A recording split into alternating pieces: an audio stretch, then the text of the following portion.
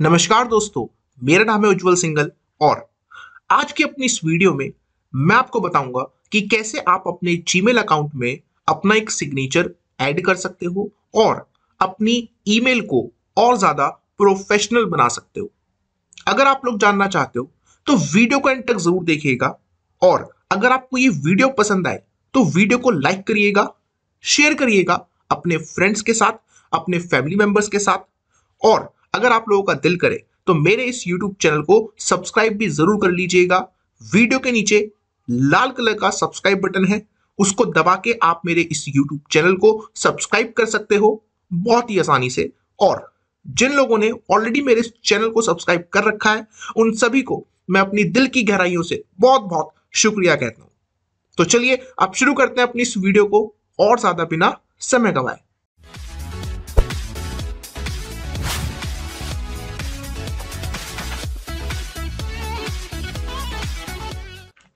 सो guys digital signature को create करने से पहले मैं आपको एक बार दिखा देता हूँ कि हमारा डिजिटल सिग्नेचर दिखता कैसा है। अभी आप देख सकते हो कि मैंने अपने लैपटॉप में अपना पर्सनल जीमेल अकाउंट लॉगिन कर रखा है। और यहाँ पे मैं कंपोज के ऊपर क्लिक करता हूँ। जैसे गाइस मैंने यहाँ पे कंपोज के ऊपर क्लिक किया तो आप देख सकते हैं कि ये मुझे कुछ ऐसा यहाँ पर शो हो रहा है। गाइस यही होता है हमारा डिजिटल सिग्नेचर। और इसी को हमें कैसे क्रिएट करना है, वो आप लोग सीखने वाले हो। यही चीज़ मैं आपको अपनी इस वीडियो में बताने वाला हूँ। तो चलिए, अब मैं आपको बताता हूँ।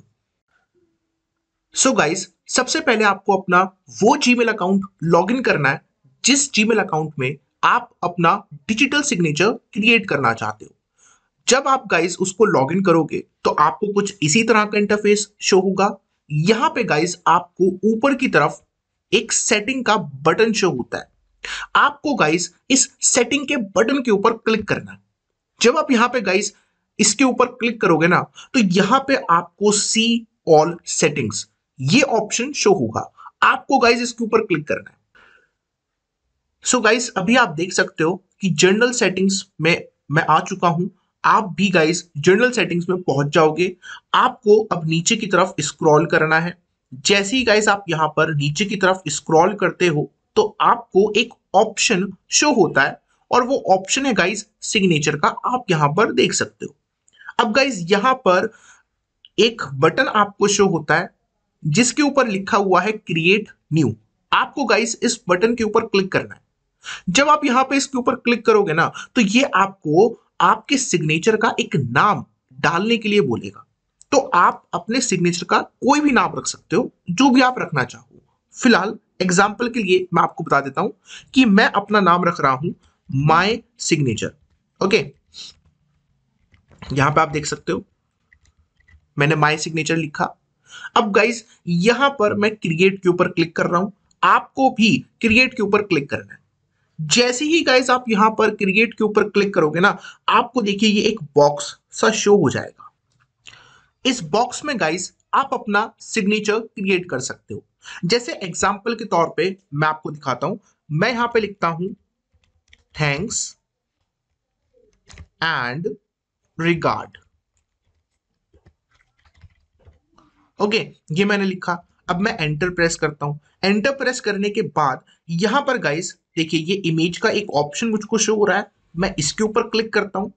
यहाँ पर मैं अपलोड के ऊपर जाता हूँ और select a file from your device इसके ऊपर क्लिक करता हूँ।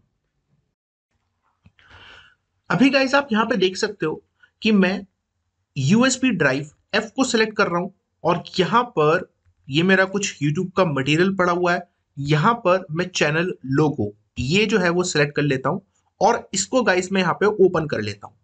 तो अभी आप देख सकते हो कि वो जो मेरी इमेज है, मेरे चैनल का लोगो जो मैं इंसर्ट करना चाहता हूँ, वो यहाँ पर अपलोड हो रहा है। और आप देख सकते हैं कि ये अपलोड लगभग लगभग कंप्लीट हो चुका है। और अब आप यहाँ पर देख सकते हो कि वो जो फ़ोटो है, वो जो इमेज है, वो यहाँ पर आ चुकी है। लेकिन गाइस ये जो इमेज है, ये बहुत बड़ी यहाँ पर आ रही है है ना? मैं नहीं चाहता कि ये इमेज इतनी बड़ी शो हो। तो गाइस करना क्या है? आपको इस इमेज के ऊपर क्लिक करना है।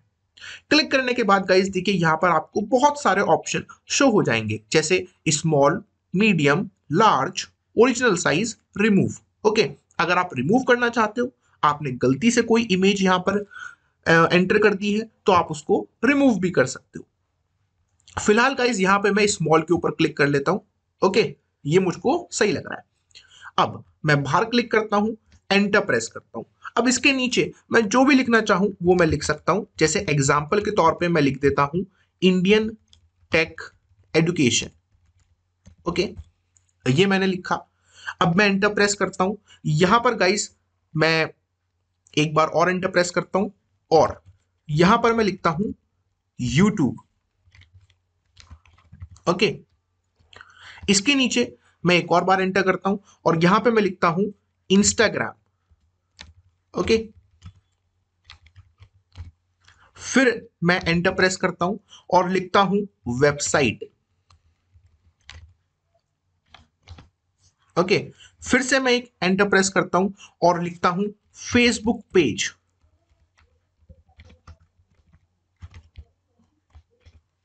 ओके ये सब मैंने यहाँ पे लिखा गाइस अब इन सब के आगे गाइस मैं लिंक जो है वो डाल देता हूँ.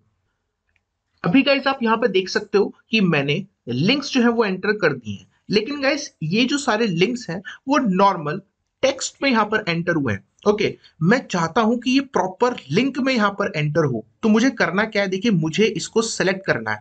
ठीक है, जितना मेरा लिंक है, मुझे सिर्फ़ अपने उस लिंक को सिलेक्ट करना है। और यहाँ पर देखिए, आपको लिंक का ये बटन शो होगा ऑप्शन शो होगा। आपको गाइस इसके ऊपर क्लिक करना है। लीजिए, आपका काम हो गया। उसी तरीके से गाइस आपको बाकी के सारे जितने भी लिंक्स है ना, उनके साथ यही करना है। सिलेक्ट करना है और लिंक के ऊपर क्लिक करना है। ओके तो चलिए, मैं बाकी के बचे हुए सारे लिंक्स ऐसे ही कर लेता हूँ। सो so, अभी गाइज़ आप देख सकते हो कि मैंने सारे लिंक्स जो है वो ठीक कर लिए अब यहाँ पर गाइज़ मैं ऊपर की तरफ़ स्क्रॉल करता हूँ। अब यहाँ पर ये जो मैंने थैंक्स एंड रिगार्ड लिखा था मैं इसको सिलेक्ट करता हूँ और यहाँ पर बोल्ड के इस ऑप्शन के ऊपर क्लिक करता हूँ। तो अब आप देखोगे कि ये जो थैंक्स एंड रिगार्ड मेरा लिखा था ये जो है बोल्ड हो जाएगा ओके उसी तरीके से गाइज़ ये जो मैंने अपने चैनल का नाम लिखा था इसको मैं यहाँ पे सेलेक्ट करता हूँ और बोल्ड के ऊपर क्लिक करता हूँ। तो आप देखोगे कि ये भी बोल्ड में हो जाएगा और इसके बराबर में ये जो साइज़ का ऑप्शन है, मैं इसके ऊपर क्लिक करता हूँ और इसको थोड़ा सा लार्ज कर देता हूँ। ओके? अब गाइस आप देखोगे कि यहाँ पे मैंने बहुत सारे लिंक्स डाले हैं YouTube Instagram website Facebook page email तो मैं ये जो यूट्यूब इनके नाम है ना इसको सिलेक्ट करता हूँ और बोल्ड के ऊपर क्लिक करता हूँ। उसी तरीके से इंस्टाग्राम है। इंस्टाग्राम को मैं यहाँ पे गाइस सिलेक्ट करता हूँ और बोल्ड के ऑप्शन के ऊपर क्लिक करता हूँ। ओके उसी तरीके से गाइस वेबसाइट है। तो वेबसाइट को मैं यहाँ पे सिलेक्ट करता हूँ और बोल्ड के ऊपर क्लिक करता हूँ। ये सारी प्रोसेस गाइस मैं आपको इसलिए दिखा रहा हूँ जिससे कि आप हर एक चीज़ को बहुत अच्छे से समझ सको और अपने आप खुद अपना एक सिग्नेचर जीमेल के अंदर क्रिएट कर सको। बहुत ही आसानी के साथ आपको कोई दिक्कत ना आए। तो अभी आप देख सकते हो कि ये सारे मैंने बोल्ड कर दिए हैं और अब मेरा जो सिग्नेचर है वो कुछ इस तरीके का मुझको शो हो रहा है। आप चाहें तो ये जो आपने थैंक्स एंड रिगार्ड लिखा था, आप इसको सेलेक्ट करके इसका भी साइज़ गाइज़ यहाँ से इंक्रीज कर सकते हो। यहाँ पे मैं इसको सेलेक्ट कर लेता हूँ और साइज़ के ऊपर क्लिक करता हूँ लार्ज के ऊपर क्लिक करता हूँ तो आप देखोगे कि ये लार्ज हो जाएगा। ठीक है?